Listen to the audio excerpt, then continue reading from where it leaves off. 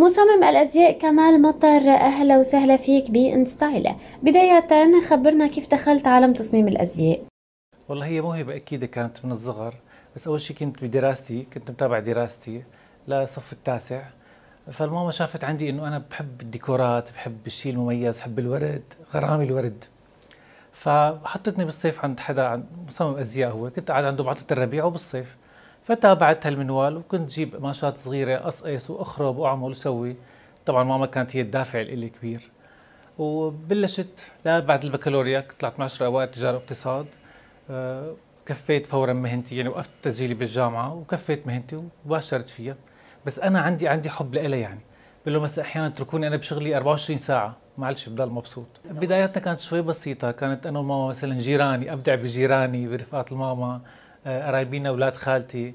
هيك بأشياء بسيطة. وبلشت هي بيقولوا الخياطة هي بتعلم حالها بحالها.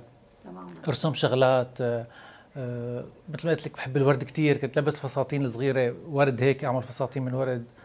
لا بقى ضليت بقى أتعلم شوي شوي. كيف بتوصف الستايل الخاص فيك؟ وشو اللي بيجعل الناس بيعرفوا إنه هالتصميم من توقيعك؟ آه في شغلة بهالموضوع كثير بحبها. يعني لحد الآن لما بيحضروا مثلا أشخاص مناسبات أغلبهم زبايني أو أصدقائي فبيقولوا لي كمال شفنا شيء توقيعك. يعني صار لي شيء اسم الحمد لله بعد هالفترة هلأ صار لي شيء 22 سنة بالمهنة. فبيقولوا لي في شيء عرفناه هذا قد مخيطه هذا قد مخيطه بفرح بنبسط بتكون بشغلة بتطريز بتميزني عن حدا بموديل غريب. أنا بحب الشيء الفانك هيك غريب مميز. فهذا الشيء اللي بيبسطني كثير بفرح كثير لما مثلا عروس شفنا شيء فستان بالعرس أكيد هذا أنت مشتغله أكيد هي القطعة أنت عاملها.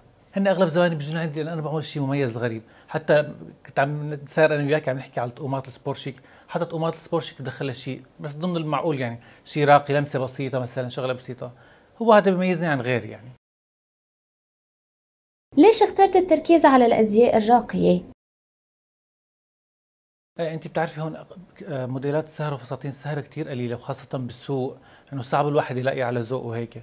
فأنا بحس حالي ببدع فيها. وفي نقطة بهالموضوع إنه أنا بحب ألعب على القماش.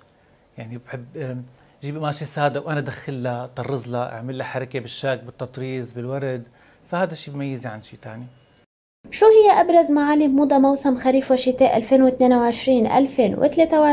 أوت كوتور؟ والله هلأ شفت من خلال اطلاعاتي شفت دارج الألوان القوية للشتاء الألوان القوية. فهالمرة داخلين هيك بشيء قوي كثير مثلا الأخضر الموف الفاقع. الأسود والأبيض أكيد الأحمر الدافي هالالوان الحلوة.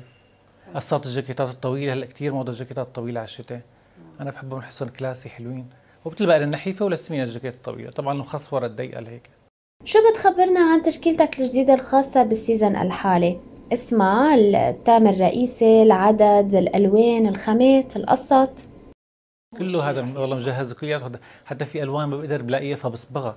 مثلا مثل ال baby blue مثل الموف قليل ما تلاقي ريش أو أو فرو. فبشتغل على هالقصص. مثل ما قلت لك هذه الشغلات بتميز عن عن عن حدا ثاني يعني.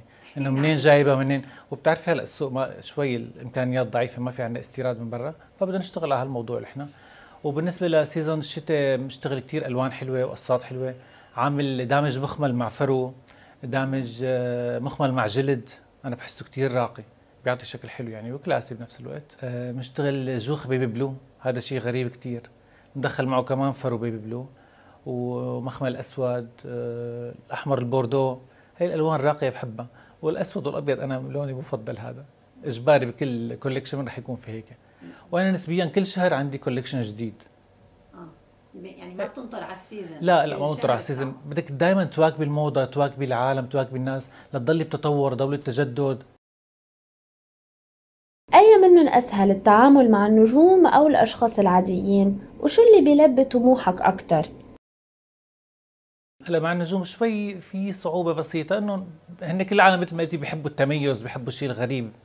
هي بس النجوم لسه خلص limited edition يعني بدك تعمل قطعة خلص هي لا بفر منها لهم إيه بس بحب يعني مع النجوم طبعا أكيد بوصلك لمطارح منيحة.